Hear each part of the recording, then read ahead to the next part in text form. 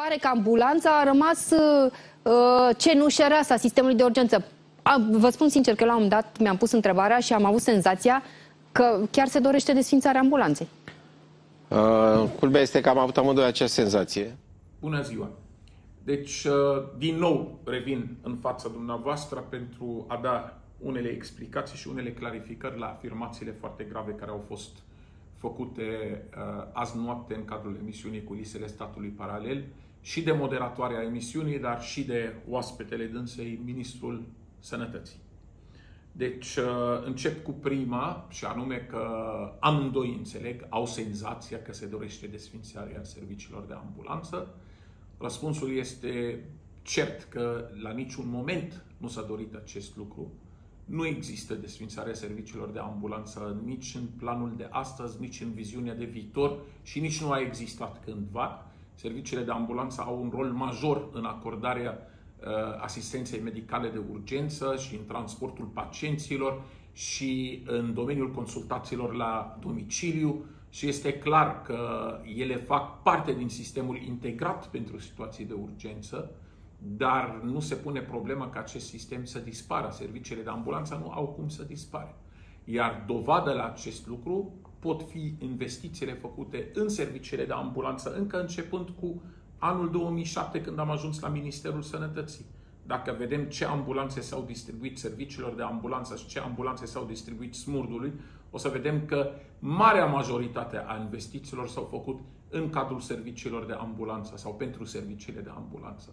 Mai mult decât atât, dacă vedem în ultimii ani investițiile făcute, din nou o să vedem, și o să revin la acest lucru când explic următoarele comentarii, uh, o să vedem că majoritatea investițiilor în ambulanțe s-au făcut în favoarea serviciilor de ambulanță. Mai mult, partea de pregătire personal, participare la exerciții, o participare care la un moment a existat o dispoziție din partea conducerii Ministerului Sănătății că serviciile de ambulanță să nu asculte dispozițiile departamentului, să nu participe la exerciții și iată-ne totuși ele participă și ele fac parte din sistemul de intervenție și fac parte din toate programele noastre de pregătire.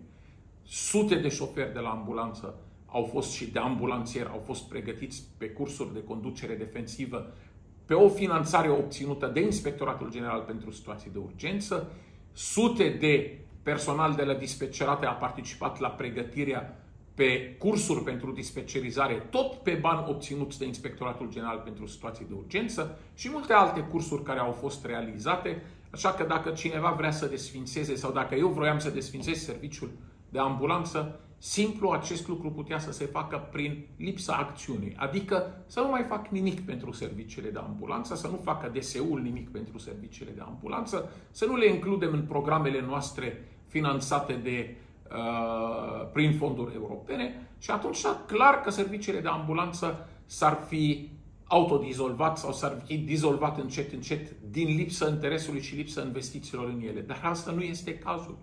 Buget care este în creștere, tot timpul discuții pentru personal, încercări de a suplimenta personalul și știe Ambulanța București că a primit de mai multe ori personal rezolvat inclusiv prin Departamentul pentru Situații de Urgență, ba mai mult, discuții pentru întregul, uh, întreaga țară pentru serviciile de ambulanță, pentru angajare a 1500 de persoane, de cadre în curs de 3 ani, care Culmea că au fost sabotate și distruse prin implicarea unor unei conduceri al unui serviciu de ambulanță pentru a rezolva problema punctuală al acestui serviciu și de la 1500 de posturi am ajuns doar la 200, care după mai multe discuții, din 200 am ajuns la 100 pentru țara și 100 pentru serviciul respectiv. Deci nu putem spune că DSU sau doctorul Arafat a dorit să distrugă sau dorește distrugerea serviciilor de ambulanță. Ba, noi întindem mâna la toate serviciile de ambulanță să vină, să participe la toate activitățile și să evolueze. Nu mai vorbim de atestatul de medicină de urgență pentru asistenții medicali de la serviciile de ambulanță, care încercăm să-l pornim de peste 7-8 ani de zile. De peste 7-8 ani de zile și n-am să intru în amănunte de ce a durat atâta și de ce durează atâta până să începem pregătirea asistenților medicali de la ambulanță. Și în niciun caz nu, nu este cauzată această întârziere de uh, dorința doctorului Arafat de a nu pregăti asistenții sau de dorința departamentului de a uh, neglija serviciile de ambulanță. Culmea că rezistența a venit chiar din interiorul serviciilor de ambulanță, de la un segment foarte mic, care nu a dorit ca acest atestat să fie implementat la timpul respectiv și acum încă încercăm să implementăm atestatul de pregătire a asistenților din cadrul serviciilor de ambulanță. Deci, îmi pare rău, dacă au senzație uh, cei de la emisiunea respectivă că se dorește desfințarea serviciilor de ambulanță, trebuie să vină cu probe. Probe clare. Cum se dorește să se facă acest lucru, cum s-a încercat să se facă acest lucru, uh, care e orizontul de timp, uh, care sunt mecanismele prin care vrem să desfințăm serviciile de ambulanță, pentru că acest lucru cred că nu poate fi probat sub nicio formă și dacă sunt, probe să se prezinte și putem să răspundem la ele. Parcul auto al ambulanței este foarte învechit și problema a fost e clară.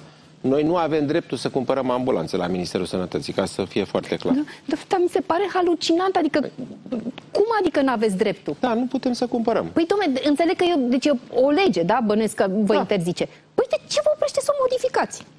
Păi ea trebuie modificată dacă este vorba de o lege, de o hotărâre de guvern, de Așa. exemplu, cu acceptul și al celuilalt minister, nu numai al Ministerului Sănătății. Adică al Ministerului de Interne și al domnului Arafat. Și domnul Arafat nu e de acord să nu. vă ocupa. Păi, domnule, dar de ce?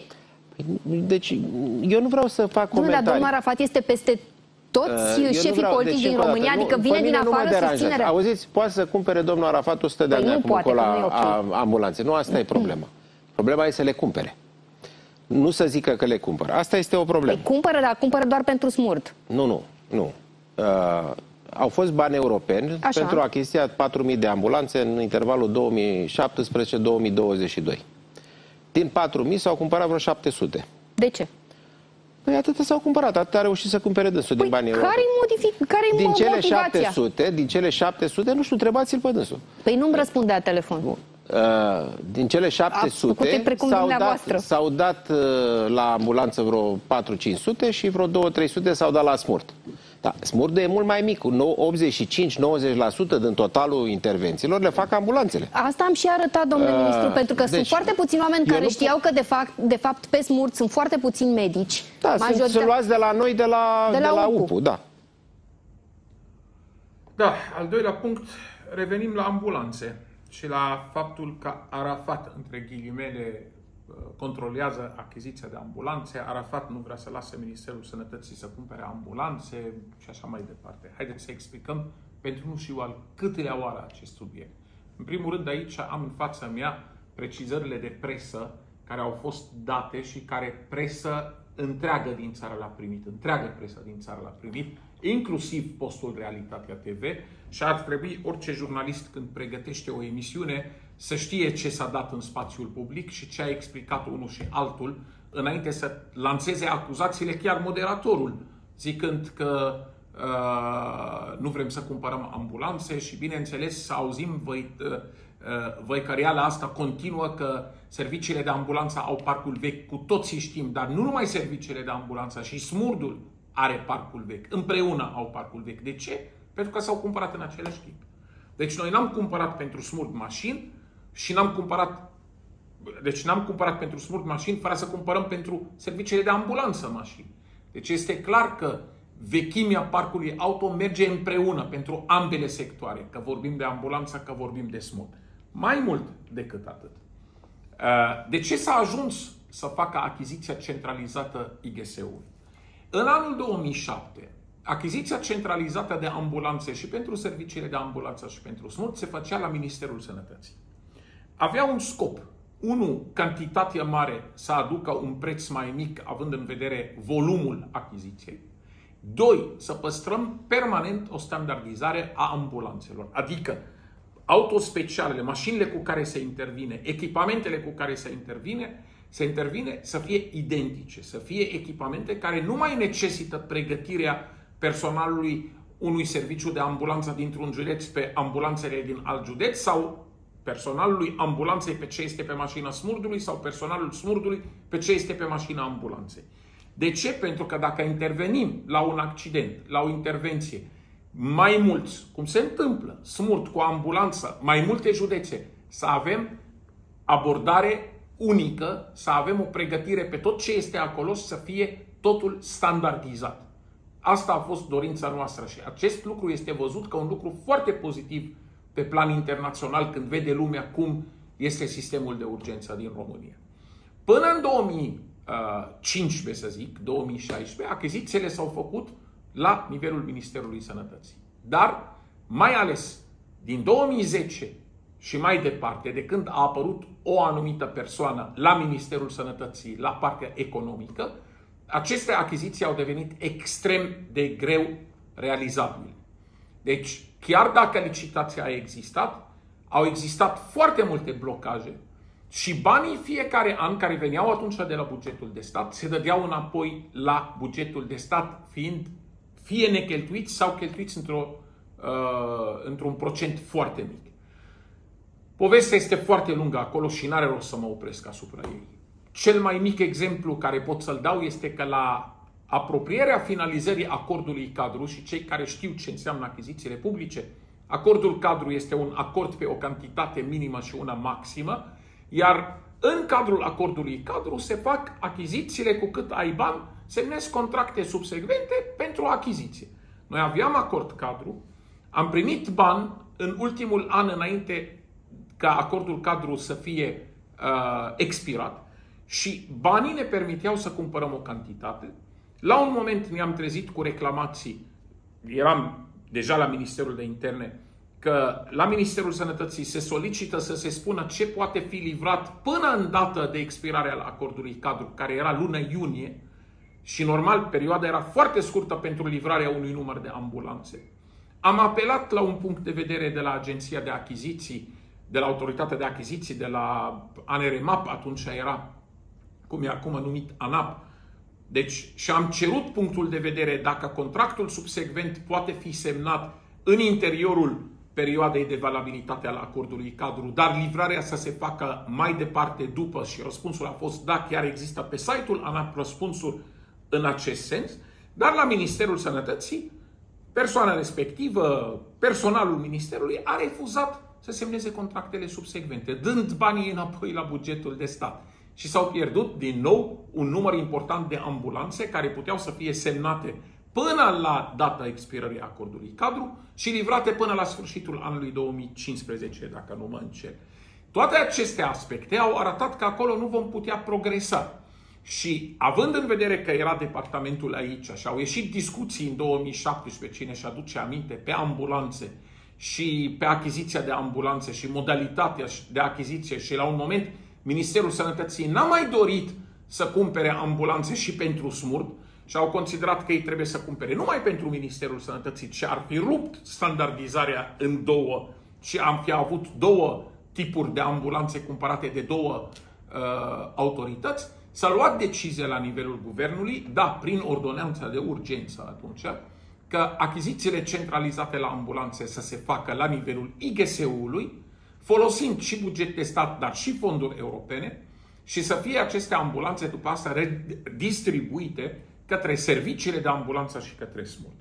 Nu intru în amănunte să vă arăt, de fapt, diferență în perioada de 5 ani 2010-2015 și în perioada de 5 ani 2017-2022, câte ambulanțe a cumpărat Ministerul Sănătății pentru serviciile de ambulanță, câte ambulanțe a cumpărat uh, Inspectoratul General pentru situații de urgență pentru serviciile de ambulanță. Doar că diferența este uh, în favoarea uh, Ministerului Afacerilor Interne și al Inspectoratului General pentru situații de urgență, care a cumpărat cam cu 283% uh, ambulanțe în plus față de ce a cumpărat Ministerul Sănătății pentru serviciile de ambulanță. Deci, din start, cifră, diferența de cifră este imensă. Și acum aici se vorbește de o cifră de 700 de ambulanțe, că din 4.000 de ambulanțe am achiziționat 700 de ambulanțe. Fals. Fals total. În primul rând, cifrele sunt următoarele. Deci s-a cumpărat pentru serviciile de ambulanță, în 2017 7 ambulanțe, în 2018 379 de ambulanțe, în 2019 448 de ambulanțe, în 2020 75 de ambulanțe, în 2021 23 de ambulanțe. Per total, ambulanțele cumpărate pentru serviciile de ambulanță de Ministerul Afacerilor Interne prin Inspectoratul General pentru Situații de Urgență au fost de 821 de mașini, nu 700, la care se adaugă încă 106 mașini cumpărate de primăria municipiului București pentru serviciul de ambulanță București-Ilfov. Și asta înseamnă că, adăugând această cifră, deja serviciile de ambulanță au beneficiat de o cifră bine peste 930 de ambulanțe, 920 de ambulanțe cumpărate de uh, Ministerul de Interne și de Primăria Municipiului București pentru serviciile de ambulanță. Când mergem la smurt, la smurt comparativ cu șapte mașini luate în 2017 la serviciile de ambulanță, smurdul nu i s-a cumpărat niciuna. În 2018, comparativ cu 379 de ambulanțe cumpărate pentru serviciile de ambulanță, la smurt s-au cumpărat 99. În 2019, Uh, comparativ cu 448 de ambulanțe cumpărate pentru serviciile de ambulanță, pentru smurt s-au luat 292. În 2020, pentru serviciile de ambulanță, 75 de ambulanțe, pentru smurt 4. Și în 2021, pentru ambulanță, 23 de ambulanțe, pentru smurt 1. Asta au fost achizițiile de ambulanțe făcute comparativ, iar pentru smurt în total este 396, comparativ cu peste 900 de ambulanțe luate pentru serviciile de ambulanță și aici trebuie să clarificăm o chestie. Tot auzim că smurdul face 5%, ambulanța face 95% și așa mai departe. Asta e un subiect care deja lucrăm să-l clarificăm foarte bine și să facem o raportare comparativă între cele două, nu să raportăm uh, și să comparăm mere cu pere. Și am să vă dau un exemplu. La un accident rutier, smurdul pleacă cu 3, 4, 5 mașini. În fișele Inspectoratului General pentru Situații de Urgență apare că o intervenție, nu că 5 intervenții, că s-au trimis 5 ambulanțe. O intervenție, așa e raportată. La serviciile de ambulanță, fiecare ambulanță trimisă are o fișă de solicitare și apare că solicitare. Și când se raportează, cele 5 ambulanțe apar cu 5 fișe, pe cât IGS-ul raportează cele 5 ambulanțe trimise la accident ca o intervenție, ca o solicitare. De aici încep să apară diferențe. Mai mult decât atât. Ni se raportează la un moment că nu știu ce echipaje într-un serviciu de ambulanță fac 29 de solicitări pe 24 de ore. Trebuie să fii Superman ca să faci 29 de solicitări individuale pe 24 de ore. Decât dacă, când te duci să consulți un pacient care a solicitat, ai fișă pentru el, tu mai faci fișă pentru soția lui, pentru copilul lui, pentru fratele lui, pentru sora lui și pleci de acolo cu 5 fișe sau 6 fișe care se raportează fiecare ca o solicitare într-o singură deplasare. Și vii și îmi spui că un medic sau o echipă de consultații a făcut 29 de solicitări pe zi în medie, pe 24 de ore. Este imposibil acest lucru. Numai în, București, dacă iau să te deplasezi pe drumurile din București și tot, ai nevoie să te duci, să urci, să stai, să consulți bolnavul și vorbim de consultație aici și după care să chiar să scrii și rețetă și după care să pleci, n-ai cum să faci 29 de solicitări în 24 de ore decât dacă ai comasat mai multe fișe pe o singură deplasare. Și ai zis că eu am consultat și pe încă 2-3 care nu au figurat în fișă și acum i-am făcut fișe și fișele astea se raportează că solicită. Aceste probleme de raportare diferită între cele două servicii sunt probleme vechi, puteau fi rezolvate dacă intram pe raportarea digitală Uh, când s-au introdus tabletele în 2013, dar acolo singurul lucru care am reușit să-l implementăm și să-l forțăm chiar este folosirea tabletelor pentru primirea solicitării, dar prea puțină lume a dorit să completeze cazurile pe tabletă, fără să mai folosească hârtii și să rămână o urmă digitală a modului în care s-a desfășurat activitatea. Deci aici este foarte mult de lucrat și foarte mult de analizat ca să vedem de fapt cifrele reale ale solicitărilor comparativ la cifrele reale ale deplasărilor de ambulanțe la diferite tipuri de cazuri. Fie că pompierii vor trebui să raporteze fiecare mașină care pleacă ca o solicitare și atunci cu certitudine vor urca de la, o, de la un procent la altul, fie că serviciile de ambulanță vor trebui să spună domnilor, noi am fost cu 5 mașini la un accident, accident rutier, asta a fost un accident ca o intervenție, în intervenția asta am asistat 1, 2, 3, 4, 5 bolnavi, așa cum fac partea pompierilor și partea smurdului. Deci este o comparație falsă cu procentele și mai mult decât atât, trebuie să vedem încă un aspect. Serviciile de ambulanță au anumite îndatoriri care nu intră în rolul smurdului. Smurdul intră pe codul roșu și pe codul galben în unele situații.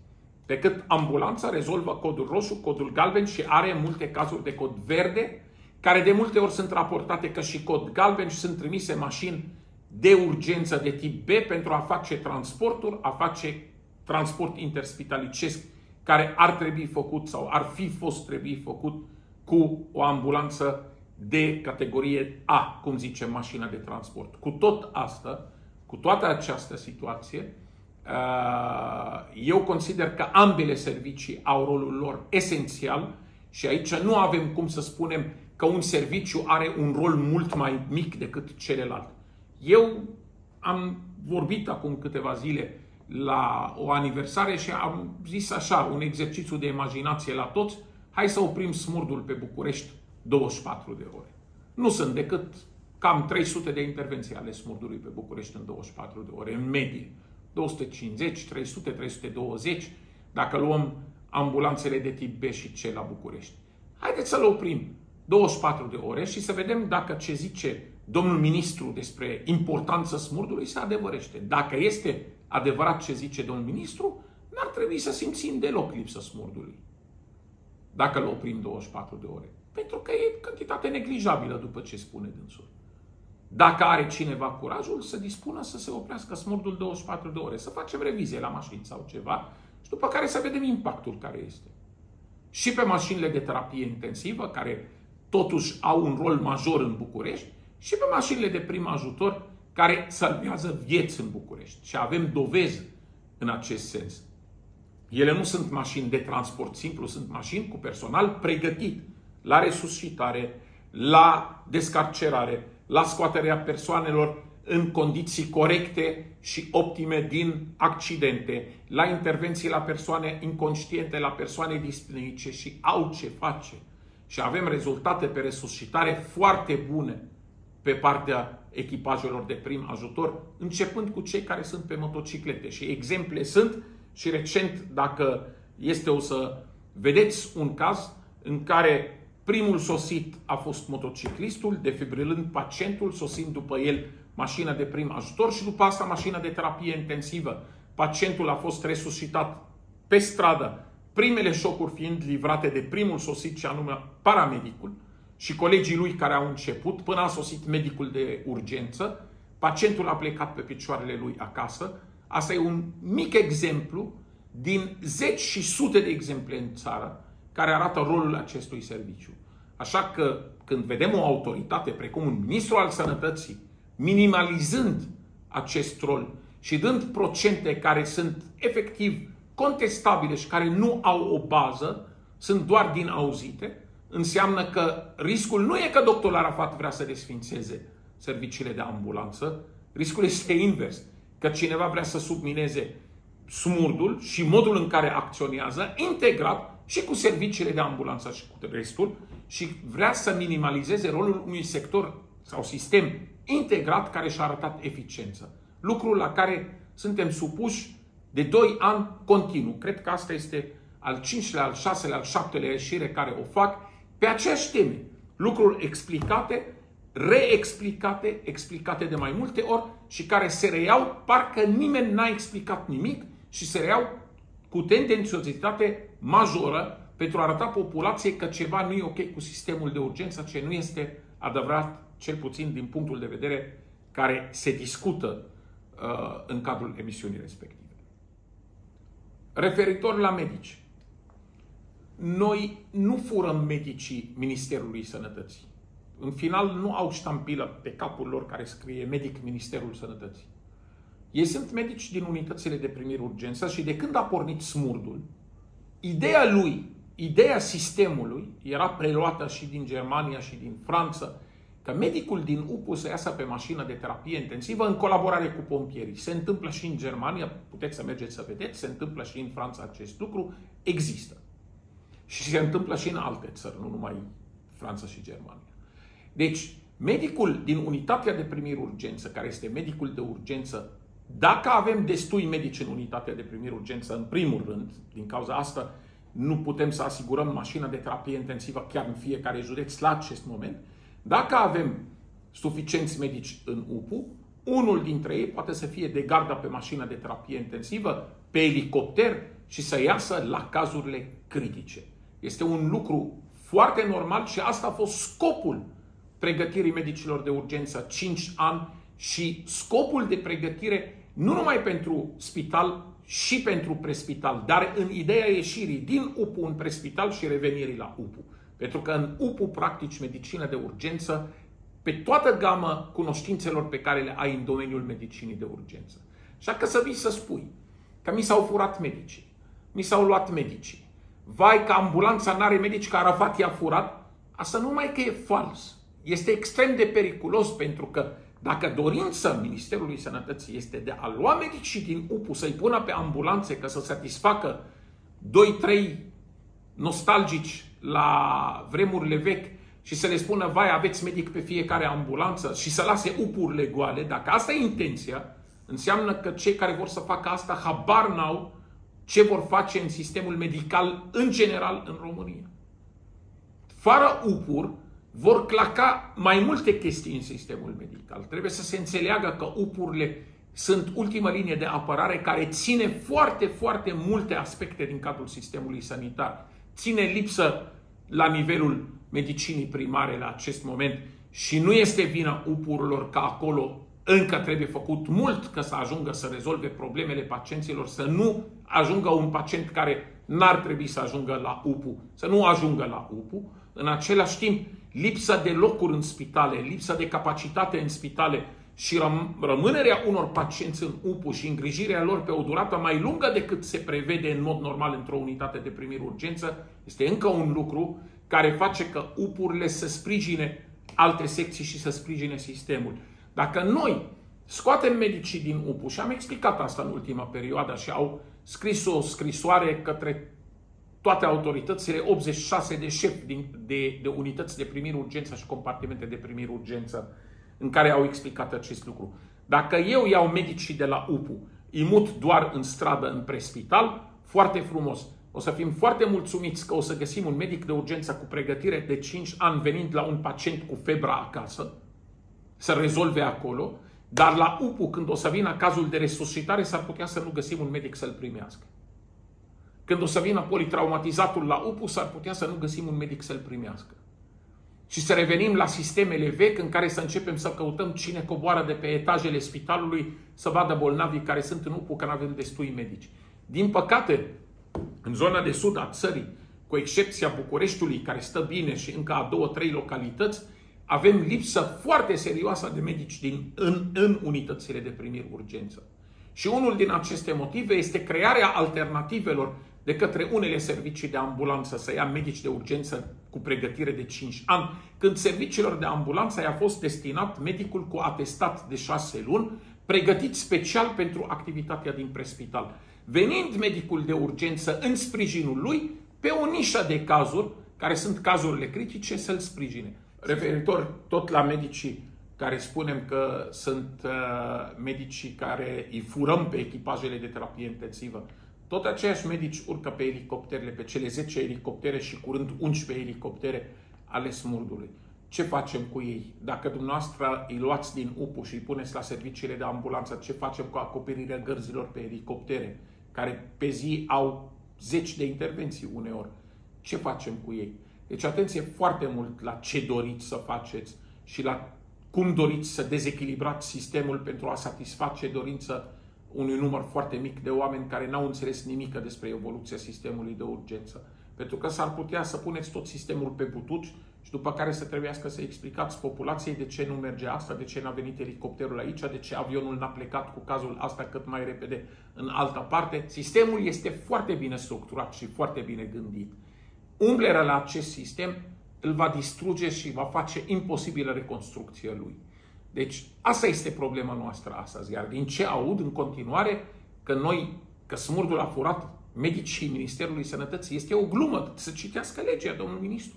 Legea definește sistemul de urgență integrat foarte bine, iar smurdul este un serviciu care este comun între Ministerul de Interne și Ministerul Sănătății. Nu este un serviciu al Ministerului de Interne concurențial cu Ministerul Sănătății. Este un sistem care depinde de ambele ministere.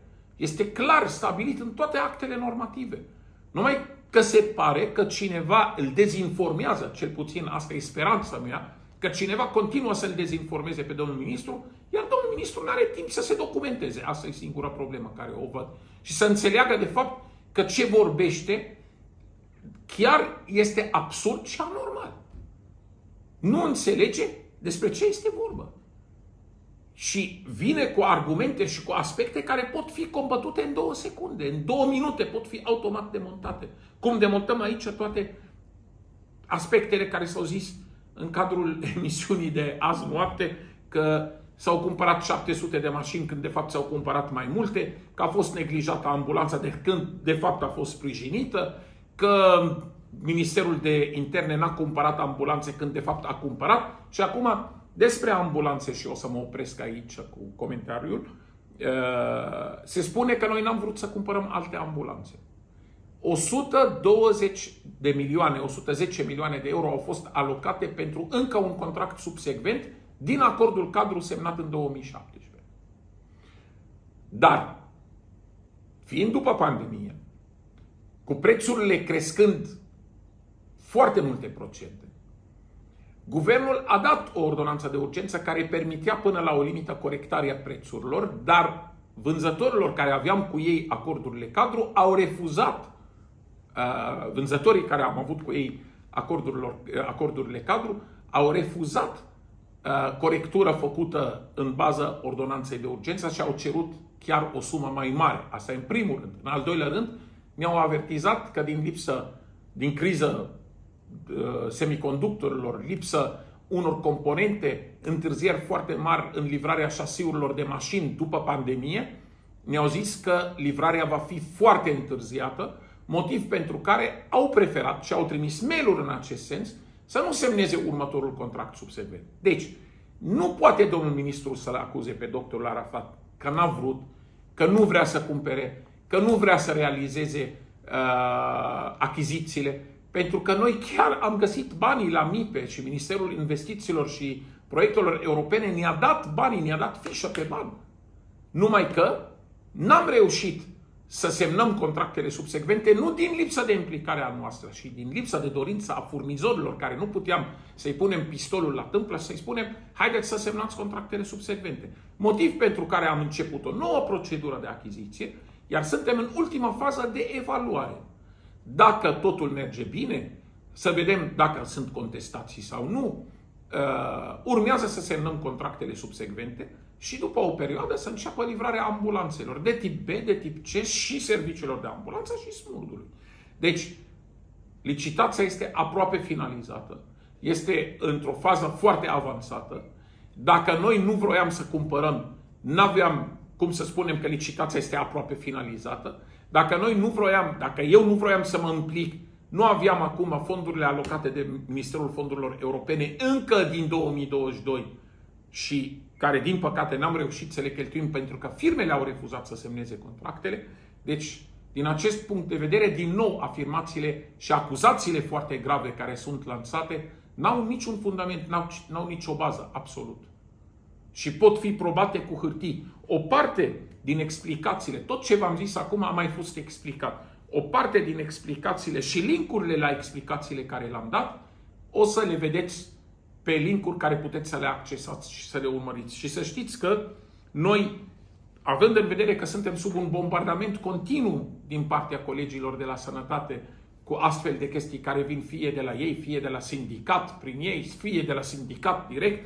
Noi avem N răspunsuri date și către guvern, și către cancelariile, nu numai acum și înainte când era domnul Ciucă, s-au dat răspunsuri publice de mai multe ori și aceste lucruri au fost explicate de mai multe ori, dar văd că se revine asupra lor și noi revenim și reexplicăm încă o dată ce am explicat și altă dată. Păi, da, da, dacă, de, de exemplu, de la 112 se trimite la o situație este, o, este un algoritm acolo, nu e la noi 112. Păi, e tot uh, la domnul Arafat, da, stați un pic.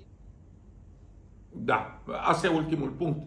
112 nu e la domnul Arafat, doamnă moderatoare. 112 este la STS și da, domnul Arafat are la el partea de dispecerizare prin prisma faptului că coordonăm operațional serviciile de urgență, însă există uh, un index de dispecerizare care este agreat de toată lumea. La aceste ședințe au participat inclusiv serviciile de ambulanță.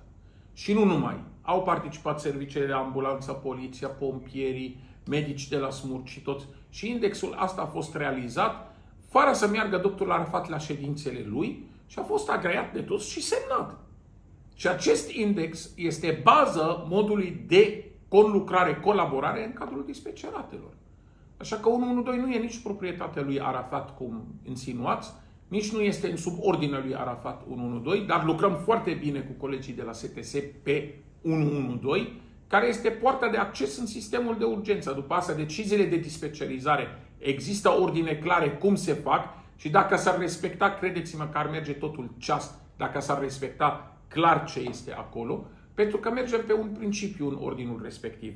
Proximitate și competență. Cel mai apropiat pleacă imediat și cel mai competent poate să-l urmeze automat sau la cerere, depinde de caz.